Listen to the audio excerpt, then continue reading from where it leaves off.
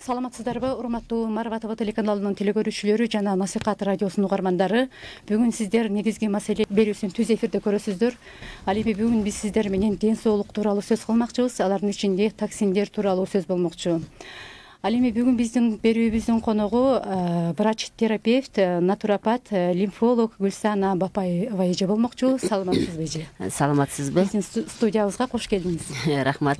Саламатсыздарбы урматтуу мекендештер? Ассалому алейкум мусулман калкым гүлсана эже ошо биринчи суроо деле мындай деп бергим келип турат. Э, деги эле адамдар э, эмнеге оорушат деп сөздү баштайлы? Абдан жакшы суроо да.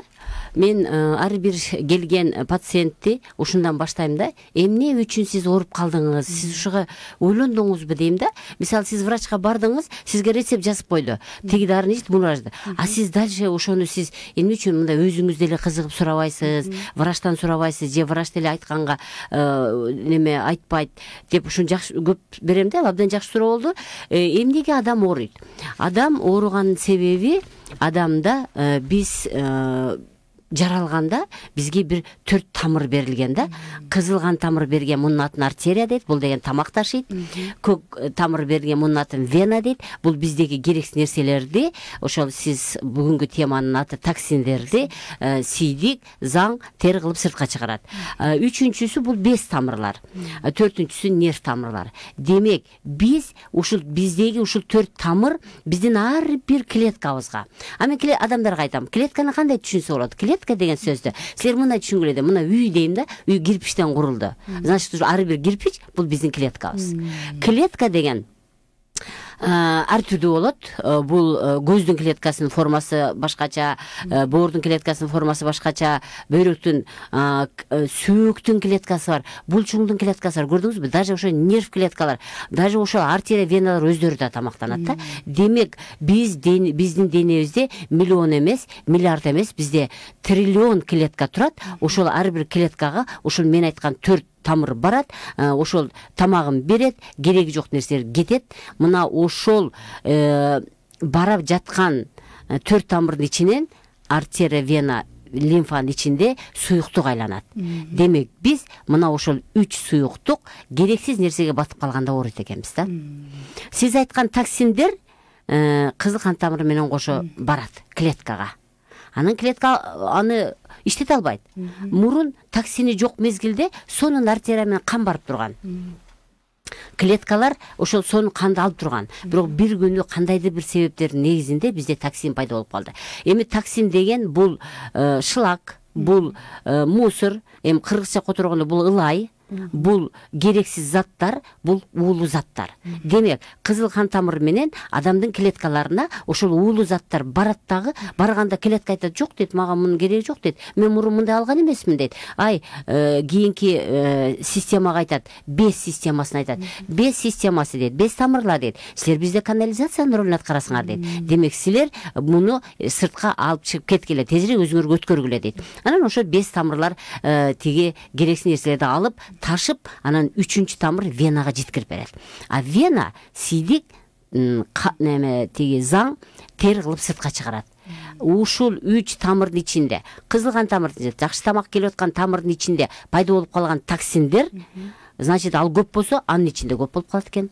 Ал деген без Э, тамырга өткөрүп берет экен без тамырдын ичинде көбөйүп кетет экен токсиндер жана венада көбөйүп кетет экен ушул органдардын ушул тамырлардын ичиндеги токсиндер кайсы органда көбүрөөк туруп калган болсо мына ошол орган ооруйт мына оору деген ошол жерден башталат.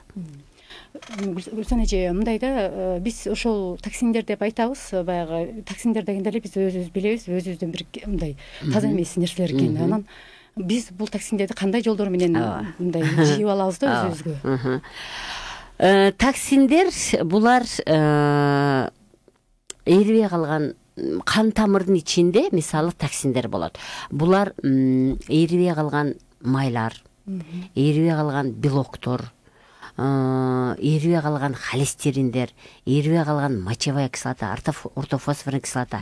Көрдүңөрбү булар бизге керектүү өлчөмдө эле пайда болгондору пайда болуп анан кийин аз өлчөмдө пайда болуп эле ал тезирээк бездин ичин толтурбастан тезирээк агып кетиш керек да бирок бизде алар көбүрөөк пайда болуп калат. Мындан тышкары токсин бул биздин организмибиздеги э, апабыздан өткөн бирок өтө аз өлчөмдө өткөн. Мен дайым телевидение барам дайым эле ошо э, выступать эткенде айтам. Элдер мени уккандар баары билет. Бизде беш майда жандык жашайт. Булар вирустар гриппкилер жөнөкөйлөр микробдор анан паразиттер. Мына ушулардын кечирип койгула заңы ушулардын чыгарган сийдиги булар өлөт булардын өлүгү өлүгү дагы бизге токсин болуп саналат демек биздеги каныбыздын ичинде токсин деп биз биздин ичибизде кан тамырдын ичинде таза жүргөн кандын ичинде пайда болгон холестерин мочевая кислота ортофосфорный кислота микробдор майда жандыктар алардын өлүгү алардын заңы алардын э, сийдиги алар андан тышкары эрибей калган холестериндер эрибей калган тамактарыбыз белок эрибей калган майларыбыз эрибей калган майлар. Мына ушунун баардыгы кандын ичинде жүрсө бул токсин болуп саналат демек кызыл кан тамыр суудай таза болуш керек дейм да мен адамдарга суудай таза болгондо ал шаркырап сонун агып турат биздин кан тамырларда анын ичине биз мына ушул азыр токсиндерди салып койсок демек каныбыз коюланып калды. Ал жыла албай калды. Ал ошо клеткада туруп калды. Ошо сонун тамак алып жашап аткан клетканы ушул токсиндер басып калды. Мына токсин деген мына ушул жактан келет.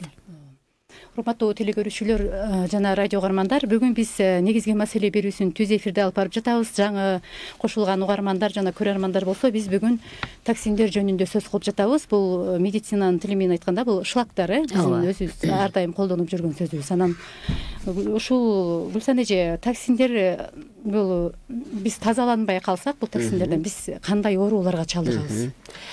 Эми э, мына баатан бери кимде ким кунт коюу угуп аткан болсо демек бизге жакшы тамак алып барып аткан артериянын ичинде керексиз нерселер шлактар токсиндер пайда болуп калган болсо эми ошол кызыл кан тамырдын ичинде эритроцит деген болот лейкоцит деген болот тромбоцит андан башка дагы толтура кандын өзүнүн элементтери бар.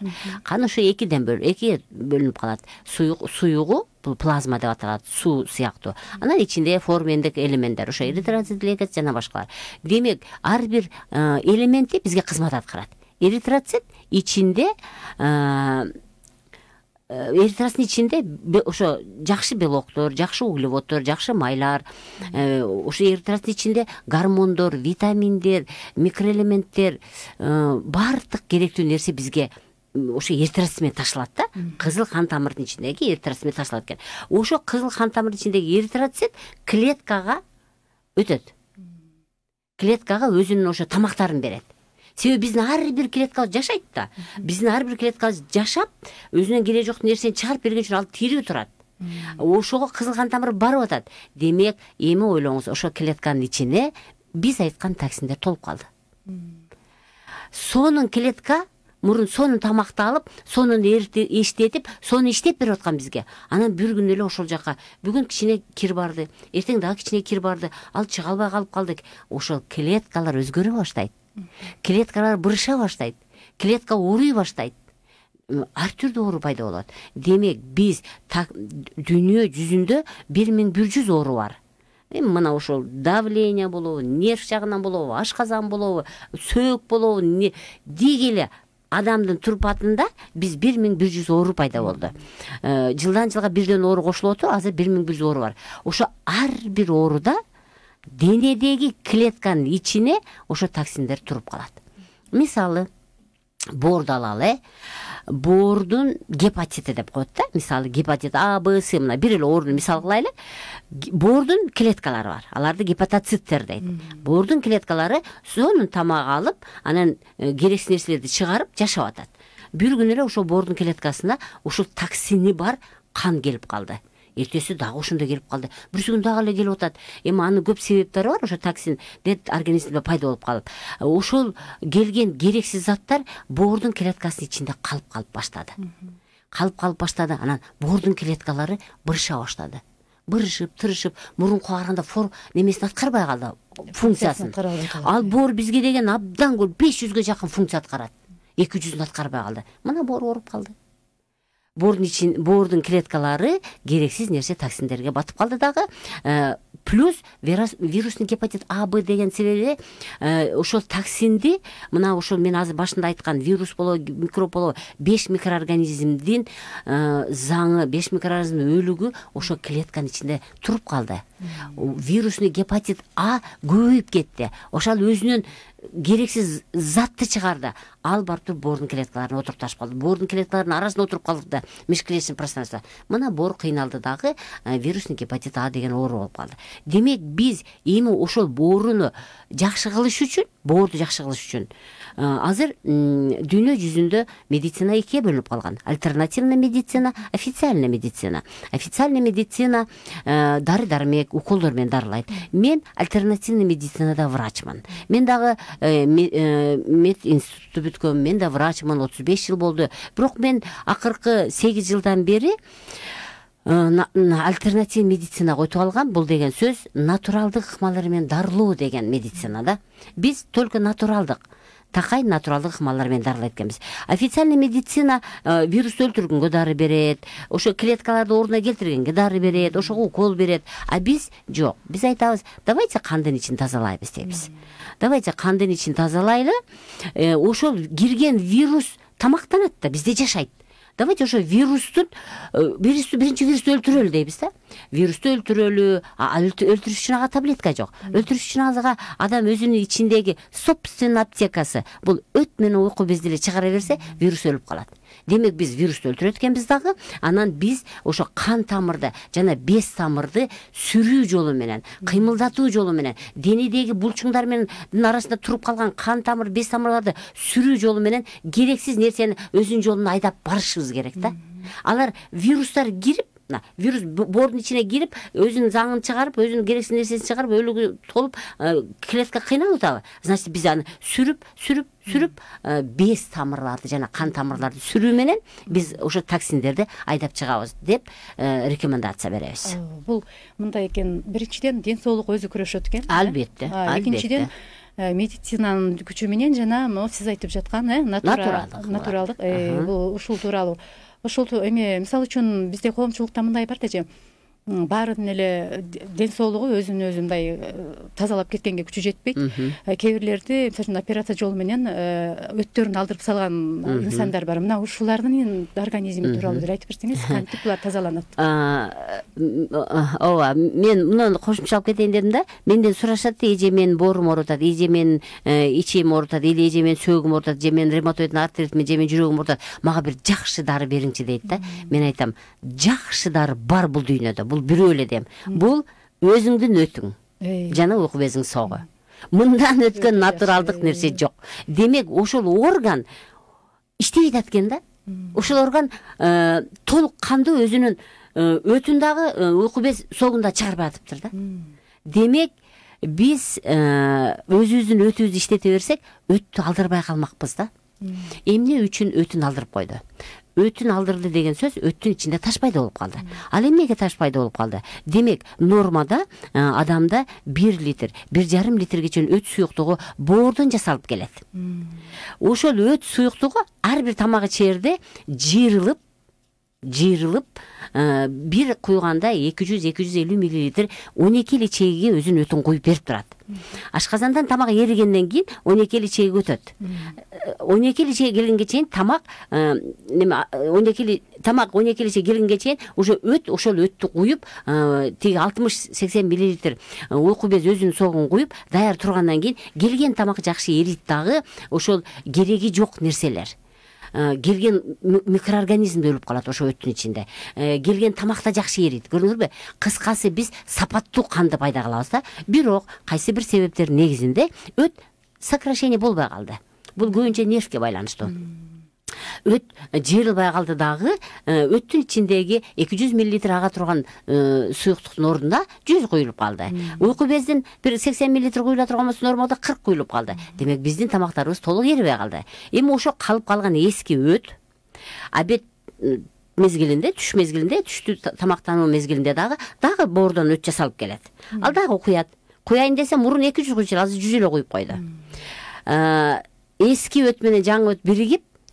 эски баары бир начар өт пайда турат обедте дагы тамак куюп берди дагы эле эскиси калып калды жүзү жүзү куюлду себеби ал ошол боюнча жыйырылган боюнча турат ушуну бир билип калоелу урматтуу мекендештер өт бир жыйырылып калгандан кийин анын жазылышы кыйын аны жаза турган таблетка жок аны жаза турган нерсе только колуңуз менен гана түртөсүз дүйнө жүзүндө аны түртүп бере турган таблетка жок ношпа бар э, спазмолитик деп коет. Эми ал канчалык ал жазып берет э, кудай билет но эң сонун нерсе адам өзүн өзүнүн өтүн түртүш керек ошондо гана ал мындай жакшы иштей баштайт. Демек ар бир жолу жарым өт куюлду жарымы калып кала берди дагы келип өт кошулду жарымы куюлду жарымы кала берди ошентип эски өт түбүндө тура берип тура берип ал бири бирине жабышып кристалл пайда болот ал кристаллдан кум пайда болот кумдан барып таш пайда болот анан кийин адам билбей жүрө берет кээбиркилер кичине пайда болсо эле оорууну сезет койкой менин оң жагым ооруп атат дейт кээбиркилер билбейт ушундай пациенттер бар эчтеке билбейт бир күнү эле оң кабырга ооруп калат бара койсо эле менин колумдай муштумдай таш пайда болгон болот анан алдырып салат алдырганда биз баштыкчаны эле алдырып салабыз баштыкчаны а боордон келип аткан трубка түтүкчө алынбайт өт жок болсо адам өлүп калат бул ошон үчүн кыргызда мен дайым тамашалап күлүп айтып калам кыргызда эң жаман каргыш өтүңдү жулуп алам деген сөз экен демек өттү трубкасы менен жулуп алса все адам өлдү деген сөз. Демек бизде хирургдар биз мен тамашалап дайым айтып калам биз хирургдарга өтүбүздүн башкачасын гана подаркага беребиз а так трубка калат ушул демек э, өт канчалык жакшы чыгып турса бизде токсиндер аз болот экен. Эже дагы бир суроо. Эгерде бизде бул токсиндердин моундай организмге топтолуп топтолуп калат да бизде анан биз могу байкабай жүрө берген учурларда бизде кандай оорулар менен өзүнүн белгилерин берет ушул. Эми э, кандай оорулар может э, токсиндерди эң жакшы э, жок кылган бул боор болуп саналат да. Ошон үчүн боорду кудай таалам көрдүңөрбү кабырганын арасына бекитип койгон да өтөкөнү ичеги бул ичеги көрдүңөрбү ал беш метр алты метрге жакын ички ичеги жоон ичеги болот экен ал аны кабырга менен деле бекиткен эмес. Боор абдан жакшы орган эң сонун орган. Бир боор организмде беш жүз функцияны аткарат да. Анан ошон үчүн э, эң жакшы нерсе бул боорду сакташ керек да. Эми токсиндерди ошо боор жок кылып берет. Демек биз боорду боорду кыйнабашыбыз керек экен. Боорго күчтүү тамакты берип э, кечкисин көп тоюп боорду кыйнап боордун функцияларын буза берсек боор оорусуна туура келип калышы мүмкүн. Дагы эле ошо токсиндер организмден чыгып кете турган экинчи бир орган бул бөйрөк болуп саналат демек биз бөйрөккө күч келтирсек биз бөйрөк токсиндерди өзүбүздө калып калышына неме мүмкүнчүлүк түзүп коет экенбиз бөйрөккө күч келтирбеш үчүн адам сөзсүз түрдө күнүгө суу эле ичип туруш керек менден айтышат да мен жидкостьти эки литр ичем деп анан кайсы десең шорпо чай кола деп айтат да жок боорду тазалоо бул эки литрге чейин таптаза чала кайнаткан суу ичүү шорпо кола мола булар кирбейт бир гана ушул таза сууну ууртап ичүү менен биз бөйрөктөгү бөйрөккө сийдик келет да мына керексиз токсиндер келет анан сийдик болуп сыртка чыгып кетет демек биз бөйрөккө сууну эле жөнөтүп турсак сийдик менен сийдик жакшы чыгып токсиндер чыгып кетет экен дагы бир жакшы токсиндер чыгып кете турган. Бул бизде эң чоң орган кайсы десе мына эстеп калгыла бул тери болуп саналат. Эң чоң орган. Бирөө сразу боор чоң деши мүмкүн бирок эң чоң орган бизде тери болуп саналат. Демек үчүнчү орган бул бизде тери ушул токсиндерди сыртка чыгаруучу болуп саналат экен. Теринин поралары бар тешикчелери бар. Мына ушул тешикчелерге вена анан лимфа келип без жана вена келип керексиз нерселерди тер аркылуу пот тер аркылуу чыгарып берет экен значит биз терибизди да жакшы карашыбыз керек экен терибизге дагы көрүнгөн нерселер чыга бербеш керек экен териге экзема псориаз э, угрилер э, андай мындай нерселер чыкпаш керек экен демек биздин терибиз да таза болуш керек экен да. Э, ушул үч орган биздеги токсиндерди сыртка чыгарып берүүчүлөр болуп саналат да. Демек биз ушул үч органды сактаганга аракет кылышыбыз керек. Ошондо биринчи эле боор жабыркайт. Сөзсүз түрдө. Эми э, биз айта албайбыз. Биринчи боор жабыркайт или биринчи э, бөйрөк жабыркайт деп. Эми бул ошол э, келген токсинди ошол органга келген бездер канчалык кете албаса ошол орган жабыркайт. Мисалы бөйрөк кандай кандайча жабыркап калышы мүмкүн? Ичеги адамдын ичи катып жүргөн болсо заң күнүгө чыгып туруш керек. Мына үч маал тамактандыңызбы? Күнүнө бир же эки жолу заң чыгып туруш керек.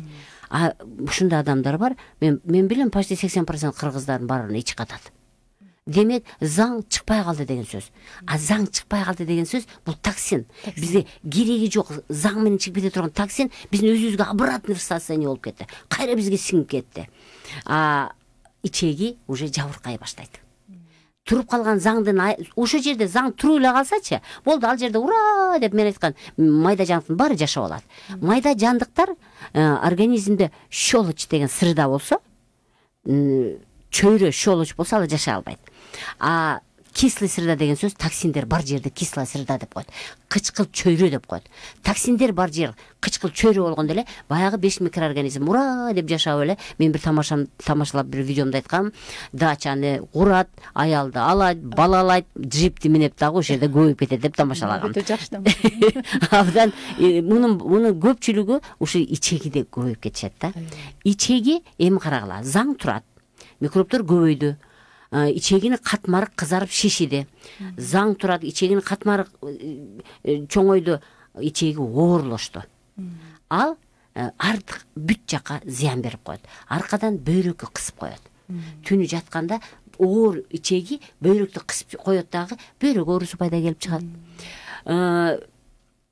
Неме жатканда диафрагманы көтөрүп койсо боор жакка зыян келип туруп боор жабыркай баштайт. Э, лимфаларды кысып койсо лимфалар ошо э, ичегинин артында омуртканын жанында болот лимфаларды койсо лимфанын ичи лимфа менен бүт кереги жок нерсе токсин лимфа менен кетет да без менен кетет ошол э, жабыркап калган ичеги бездерди кысып койсо демек бездер жакшы жыла албастан тери бирөө көп терийт бирөө тердебейт териге ар нерселер чыгат көрдүңүзбү э, биз мындай чек кое албайбыз да биринчи боор ооруйт биринчи бөйрөк ооруйт деп жок кайсы органга кан баруу жана ошол жактан без кетүү бузулса ошол орган жабыркай берет урматтуу теле көрүүчүлөр жана насихат радиосунун угармандары сиздер негизги маселе берүүсүн түз эфирде көрүп жатасыздар. Бүгүнкү биздин коногубуз гүлсана бапаева эже бул эже врач терапевт лимфолог натуропат. Биз э, токсиндер жөнүндө сөз кылып атабыз урматтуу теле көрүүчүлөр бизде дагы гүлсана эже сизде бир суроо сизге дагы бир суроо.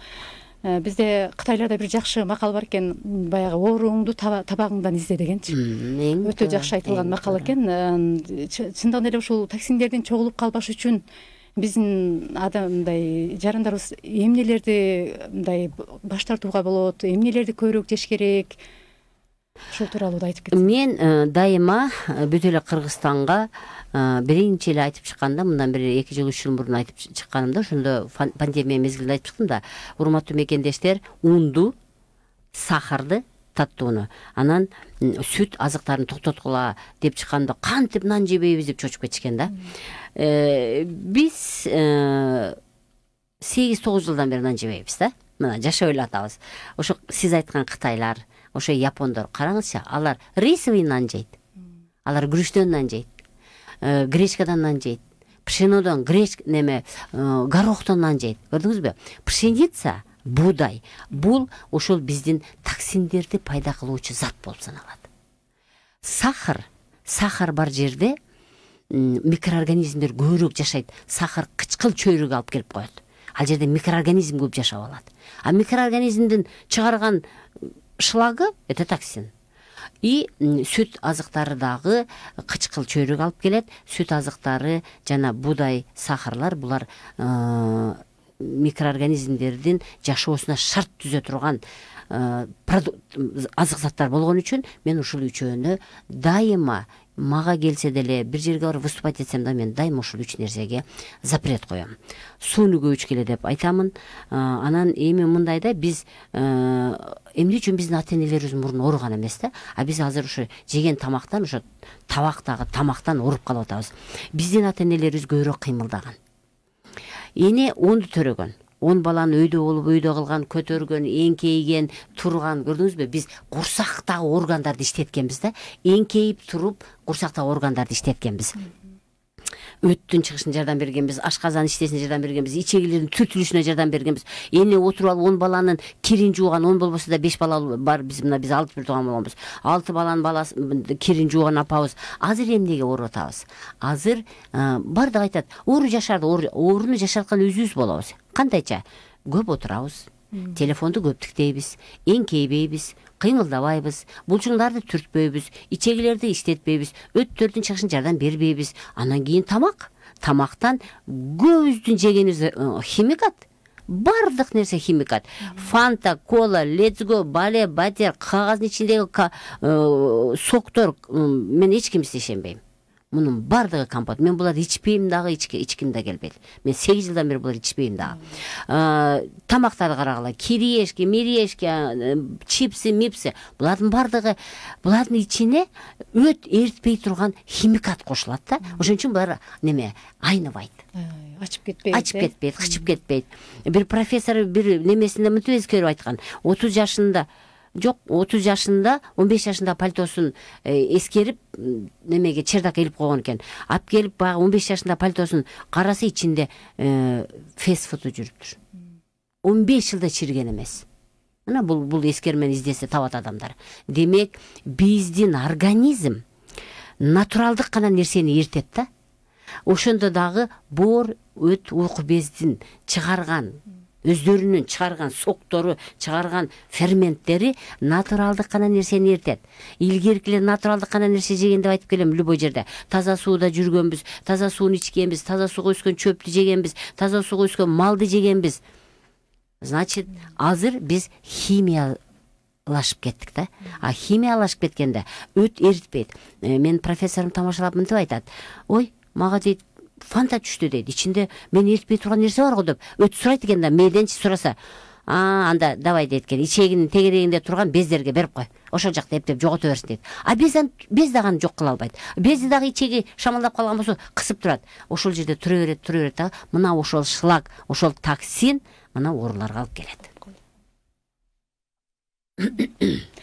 ошондо өзүңүздүн тажрыйбаңыздан да бөлүшүп кетсеңиз сизге келген пациенттериңиз пациенттериңизди биринчи эле эмнеден баштайсыз мен биринчи эле буларды натуралдык тамактанууга отургузам диета деп коем эми диетаны деле төрт мал беш мал жегенге берем өзү нормада адам мындай мына алаканга баткан тамак бул бир жолку порциябыз да. Мына любой адам алаканын алсын дагы и болду ушуга баткан тамак эле деп. Аны ушу ушуга отургузам анан биз ушуга чейин көрүнгөн нерсени жеп биз ашказанды он эки эл ичегини тамак сиңирүү жолдорун кызартып шиштип алганбыз да ошолорду ордуна келтириш үчүн бир мезгилде бир эле тамак бергиле деп айтам да ротационная диета деп коет бул бир эле мезгилде мына эртең менен турдуңузбу күрүч эле жеп коесуз болду түштө бүгүн мясной день только эт эле жеп коесуз кечинде овощту только сууга же буга бышырып эле жеп коесуз. Ушундай кылып тамакты мен төрт күнгө берем да анан аны дагы кайталай бересиз. Төрт күнөн бүткөндөн кийин дагы кайталай бересиз. Ошондо э, бир тамакты кечке чейин жей бергенге бир бир тамакты кечээ бир ичке келди мен өзүм жалгызмын аны бышырып коеюн үч күн жейм дейт.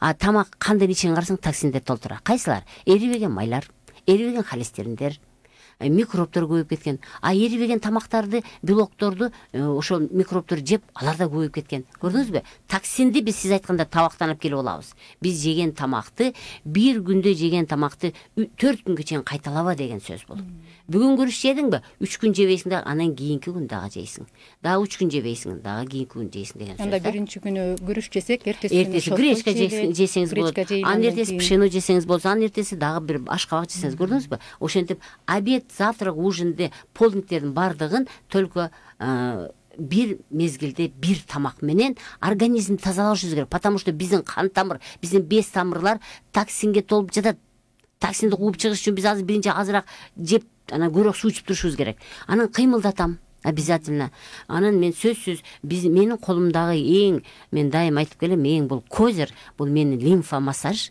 анан кийин сүлүк курт болуп саналат да. Кыргыздар илгери эле айтып койгондо арам кан сорап алат деп. Арам кан деген сөз мына ушул токсин деген сөз. Кандын ичиндегини кыргыздар илгери эле арам болуп калат каныңдын ичинде арам толуп калат экен ошол арамды сүлүк гана сорап алат деп айтып келген экен да демек менин колумдагы козер бул аптекадагы дары эмес бул сүлүк курт.